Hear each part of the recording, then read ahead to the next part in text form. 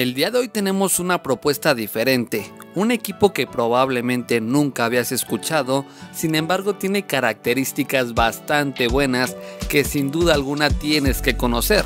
Y bien, hablamos de Nefo C9A, un teléfono de entrada que pertenece a la empresa de TP-Link, la cual seguro conoces por los routers y sus diferentes productos para internet. Primero que nada vamos a ver el diseño, el cual sin duda alguna me ha gustado bastante, tenemos materiales en plástico con una apariencia en metal muy elegante. Debo comentar que está fabricado con los estándares de diseño más estrictos por lo que pasa diferentes pruebas de calidad. El equipo en la mano se siente bastante bien, cuenta con unas dimensiones de 146.5 milímetros de alto, 70.09 milímetros de ancho y una profundidad de 8.3 milímetros. Tenemos una pantalla de 5.45 pulgadas HD+, la cual para ser sinceros ofrece colores muy reales y buenos ángulos de visión, así que por esta parte no te preocupes. Dentro de lo más sobresaliente del diseño encontramos por supuesto el lector de huellas, el cual es bastante preciso, sin embargo no es tan rápido como me gustaría.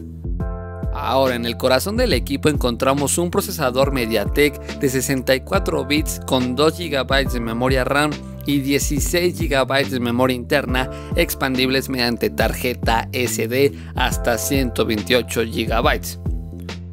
Por la arquitectura del procesador no tendrás mayor problema en correr todas tus aplicaciones e incluso algunos juegos de alto rendimiento es bastante aceptable. Sin embargo, para ser sincero, quedamos un poco cortos en temas de almacenamiento, por lo que ten muy en cuenta una memoria.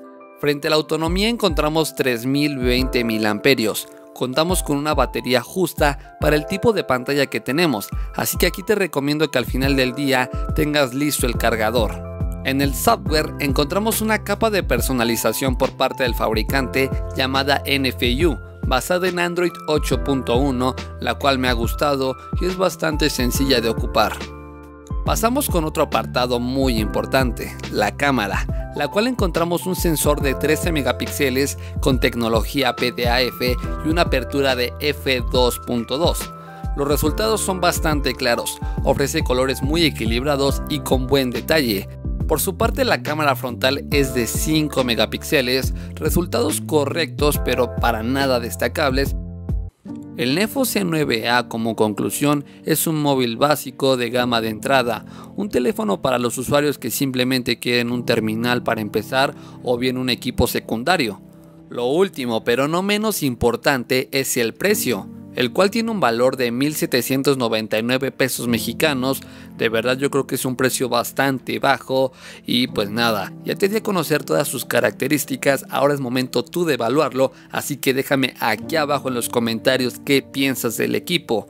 Y pues nada amigos, muchísimas gracias por ver el video, creo que de verdad es una apuesta en la gama baja o de entrada bastante buena, así que pues nada, no olvides seguirme en todas mis redes sociales, por ahí andamos bastante activos y pues nada, yo me despido. Hasta luego.